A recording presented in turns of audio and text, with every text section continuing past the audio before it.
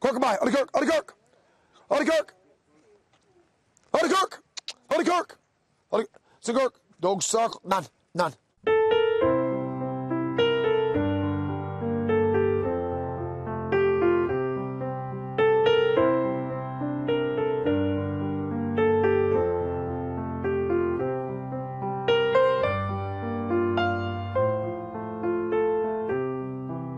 Welcome to Windows to the Wild. I'm Willem Lange. I'm here in Scotland with a head cold and a group of people from New England who are here with me to view the incredible scenery, perhaps glimpse a little of the wildlife, and immerse ourselves in the fantastic Scottish history. Our journey begins in Boston. We hop aboard a plane and head to Washington, D.C. From there, we catch an overnight flight to Edinburgh.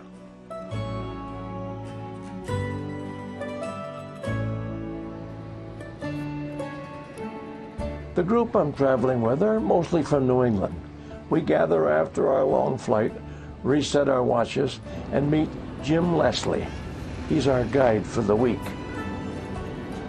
Now, you have steeped yourself in Scottish lore and history. You know more about it than anybody, right? I do my best. There are many expert guides here in Scotland, and I, I try very hard. Now, you- how long have you been doing this? Uh, this is my third year. Is that all? That's Just great. a, a youngster. yeah, but you had 30 years in the in the Perth Constabulary, right? I right? did. I was a police officer for 30 good years. Oh, that's wonderful. Yeah, I can ju- I can see you. I can see being stopped by you on the highway. You don't get away in a hurry. I've always got a story to tell you. now, we might not all get over together, but we're After a quick head count, we're on our way down the road a short distance to Glasgow. This is where the fun begins.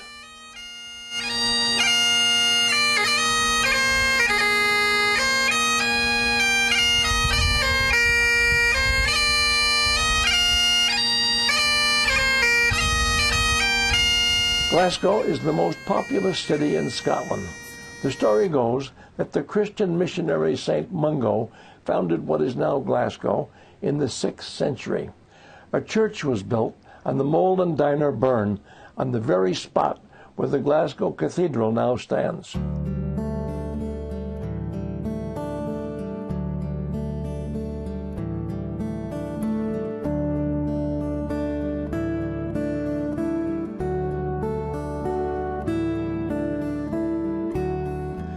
Take time to look around at the city's history and impressive architecture.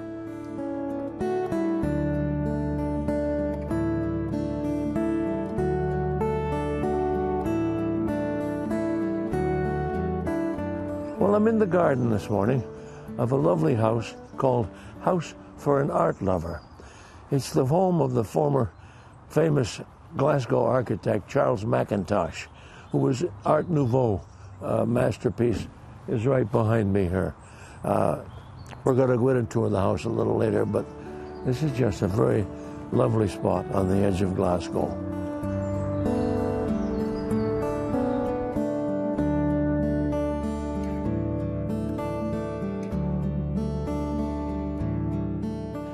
Charles Rennie Mackintosh was the fourth of 11 children. He was born here in Glasgow in the summer of 1868.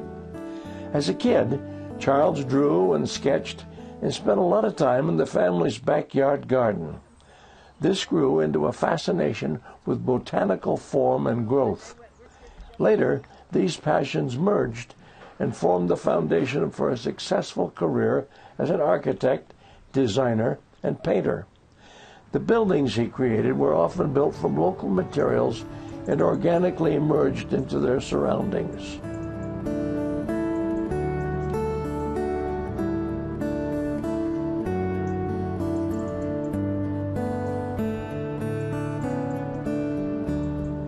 From Glasgow, we head north for about 30 minutes to Stirling Castle.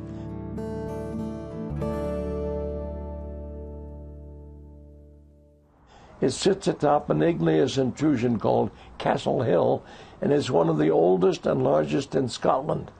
It's been home to many of the Scottish royal families. Mary Queen of Scots was crowned here. She also played golf. She was a very keen golfer. Golf invented in Scotland. Golf was banned by three consecutive kings because they wanted the people of Scotland to be practicing their archery in case the English came over the border, instead of which they were trying to knock holes, balls into little holes. So the king banned golf. But of course, Mary Queen of Scots, she quite enjoyed the golf.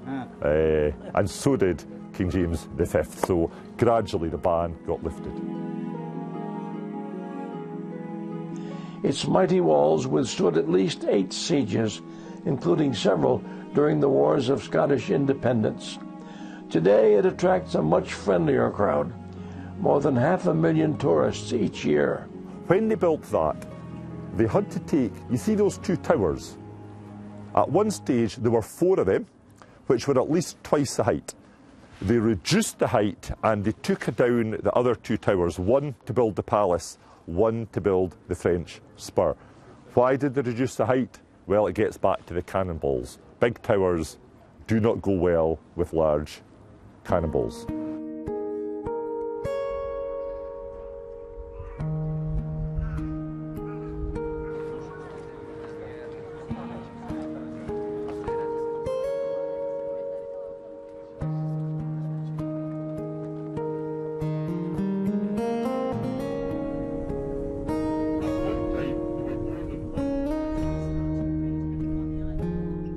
The next day begins with a bus ride north through Trossachs National Park.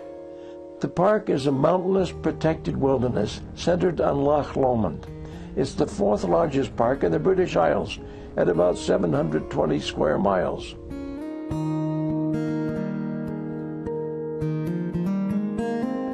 One of the new things that's happening is ecotourism. Have you anything like that happening here? We're, there's certainly a growing area of our business. We're looking to Im- minimise the impact. We have so many visitors coming here, places like Edinburgh, which are where everyone, everybody wants to come to see. Come get very busy, but we've got some fantastic countryside. We've got areas that you'll never have heard of. Just give us the chance to have free reign and we can show you some of the most wonderful landscape, rivers, mountains, and away from the crowds. Uh huh. And you could, we can do this with a minimum impact, I guess. Eh? Minimum impact, we can have people staying in, you know, you want to camp or a yurt.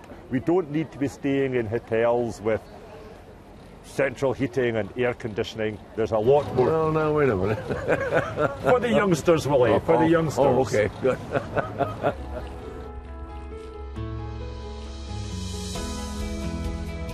Our destination is Loch Katrine, which has long been an inspiration to artists and writers. We board the steamboat Sir Walter Scott and cruise the lake, eh, perhaps to find inspiration of our own. The ship was built in 1899 and is one of the most recognized ships in Scotland.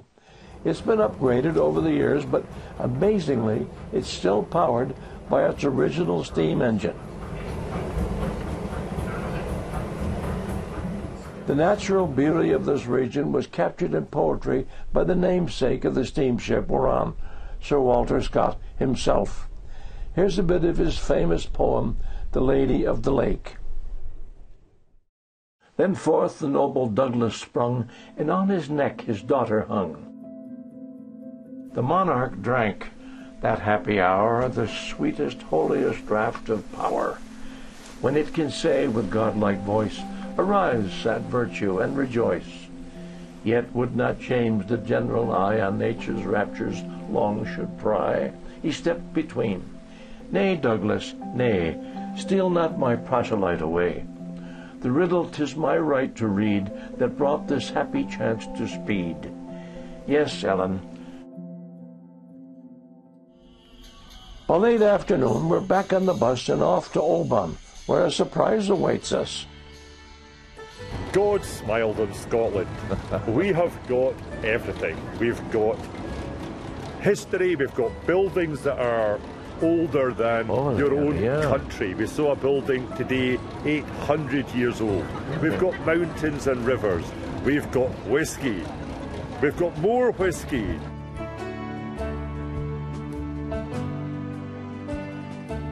Beneath the cliff that overlooks Oban is the cradle of Scotch whiskey. I know this has nothing to do with the great outdoors, but I thought you'd probably enjoy its history.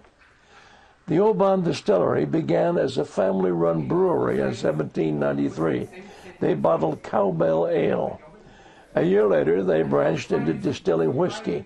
That continues today.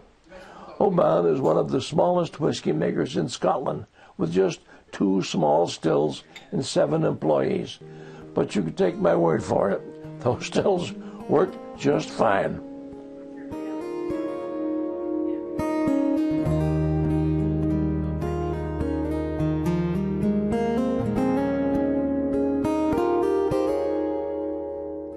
The next morning, we meet at the Oban Pier. We're heading across the Sound by ferry to Craignure on the Isle of Mull.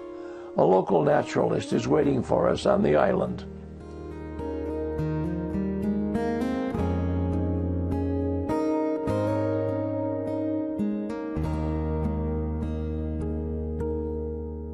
Just to orient you, we're at uh, Duart Castle uh, in, on the Isle of Mull.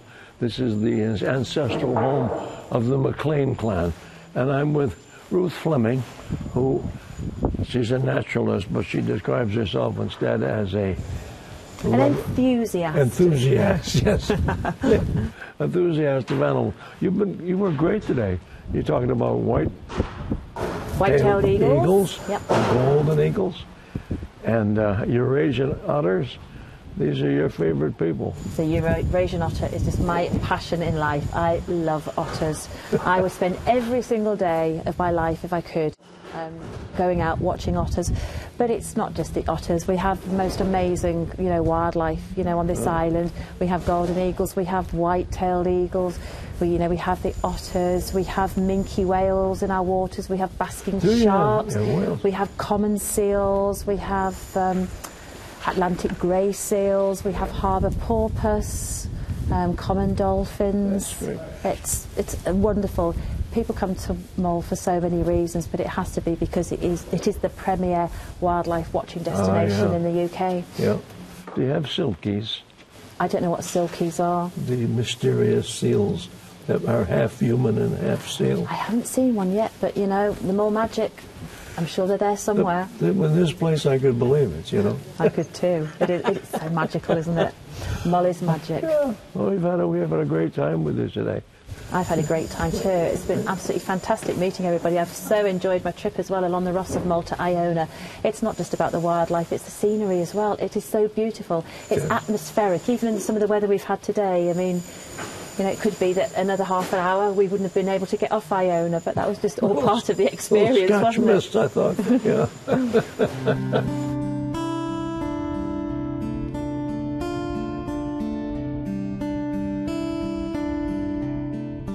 Another ferry ride, and we're on our way to the Isle of Iona.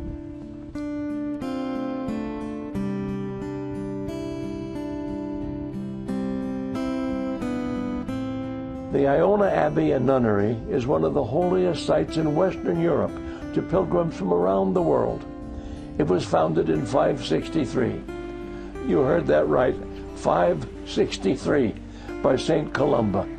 Its remoteness has been and still is an ideal setting for spiritual contemplation.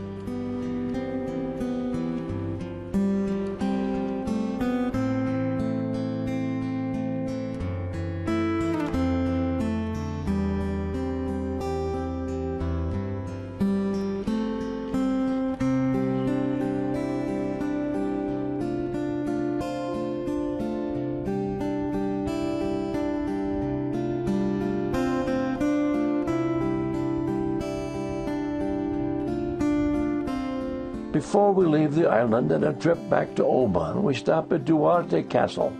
Built in the 13th century, it's the ancestral home of the Clan MacLean. Throughout the centuries, it survived attacks and a siege. But by the mid 17th century, Duart Castle was abandoned. Time and the elements took their toll. The castle fell into disrepair. A restoration beginning in 2014, however, has saved the castle, at least for now. We return to Oban for the night. In the morning, we'll set out for Inverness.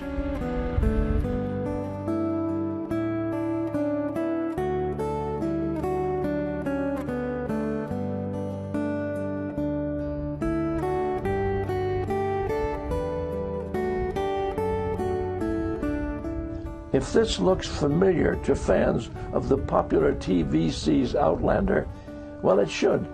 This is the Culloden battlefield, the brutal end of the Jacobite Rising in 1746.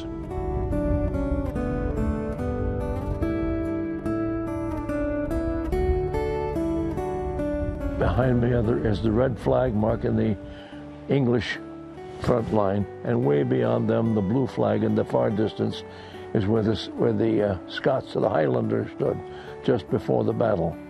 It was the last battle because uh, the Jacobites were pretty much wiped out by it, and they had to retreat. Bonnie Prince Charlie left never to return to power.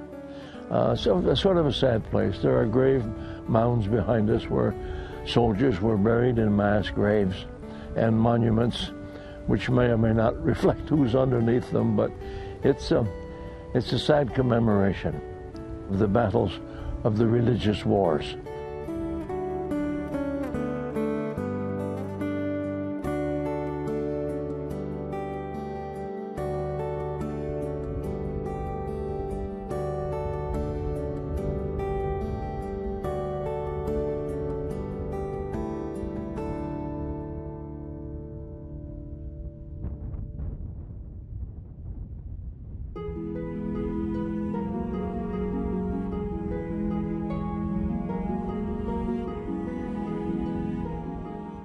Now for something a bit more fun. Lie down. Lie down. We're at the Leault Sheepdog Farm, and this is Neil Ross, a master Highland shepherd. The voice come on, Bill, come by. Bill, wait to me. Different sound. Bill, Bill. It's to the left. Bill, wait to me. To the right. Bill, he gets to know the whistle sounds off by heart means right. As long as he hears that sound. It's hard to believe the intensity of the relationship between Neil and his dogs. The dog has learnt left and right. We make. We means go right. We make. All we make, all make, all make, we make, we make, all we make, all we make. Border Collies are so intelligent and eager to do their jobs, and Neil has trained each of the puppies with the guidance of older dogs that just a gesture or a whistle so faint that we can hardly hear it, brings them running with a herd of sheep from the ends of the fields. Like Denmark! Look back! Bring the sheep up close. Bring them up close. If you can't bring them in front, bring the sheep up really close and surround the dogs around the sheep. They make sure the sheep are where Neil wants them. Then they squat down and wait for the next command. Merkabah.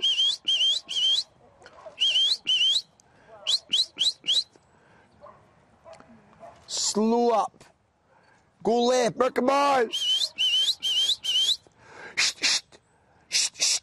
Come by, Merk. Merkabah. Stand there.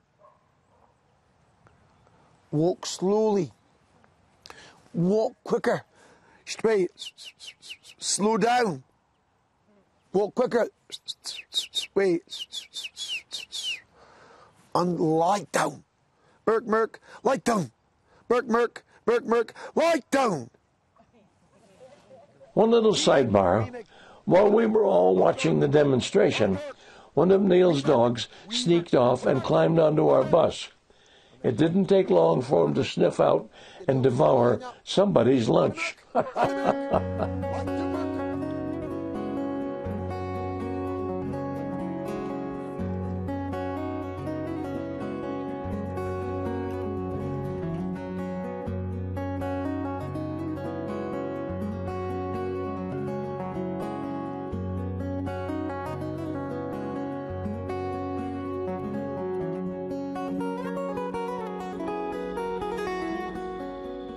Our trek around Scotland ends where it began, back in the capital, Edinburgh.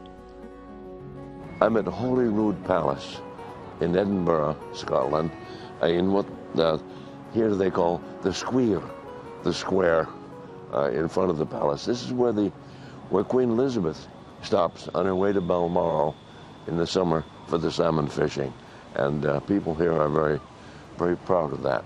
We're going to take a little tour of the palace. We've got a uh, guide here and earphones to guide us through the thing. It's all very pleasant today because it's not raining. the palace of Holyrood House is rich in royal history. It's the official residence of Queen Elizabeth II when she's in Scotland. It's also been the primary residence of Scottish monarchs dating back to the 16th century.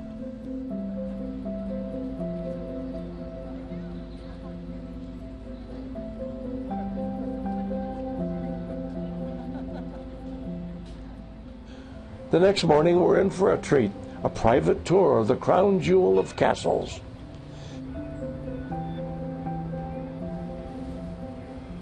Edinburgh Castle was a military fortress, a royal residence, and even an armaments factory. During its 1100 year old history, the castle survived 26 sieges. My fascination with geology can't rest. The crag on which the castle was built is the plug of an extinct volcano. The summit is 430 feet above sea level with rocky cliffs to the south. The only accessible route to the castle is to the east. This provided a defensive advantage. The problem was the rock beneath the fortress is impermeable. Finding water and getting it to the castle was really difficult.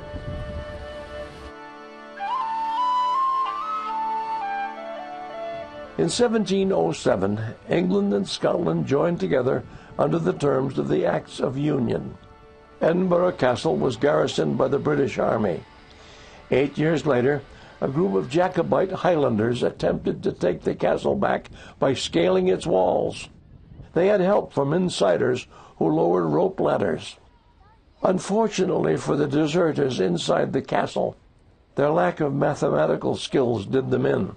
The letters were too short, and the attempt ended in their executions.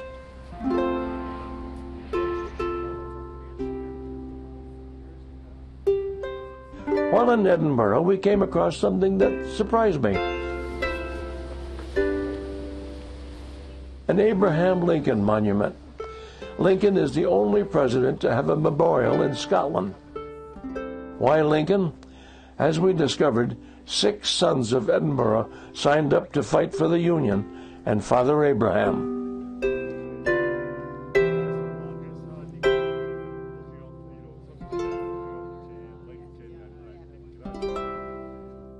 We couldn't leave Edinburgh without a tip of the hat to literary history. Yes, there are Robert Louis Stevenson, Robert Burns, and Walter Scott. I have spoken quite a lot about Robert Burns the world's greatest poet. And I think, in the interest of balance, I should also tell you that Scotland also has the world's worst poet, William Topaz McGonagall, renowned for his terrible verse. William McGonagall lived in Dundee, and he believed he was another Robert Burns. He would write poems and he would walk from Dundee to Balmoral and knock on the door asking to see Queen Victoria so she could read his poems. And he always got turned away and he'd walk back 40 miles to Dundee, write some more poems, and up he'd go. I don't think she ever read any of them. And just as well, because they are truly awful. But look closely at these stones and you'll see the names of more contemporary figures. J.K. Rowling wrote the first Harry Potter book just steps from here. She came here looking for names for her fictional wizards. Oh, is that cool? Or what?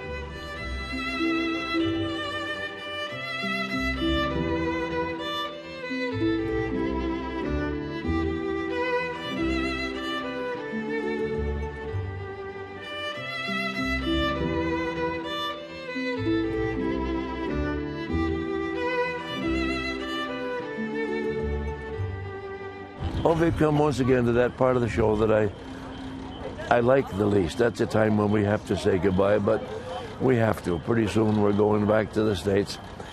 And I must say goodbye. I'm Willem Lange, and I hope to see you again on Windows to the Wild. And I hope Jim will be with me. Willie, haste ye back. Come back soon.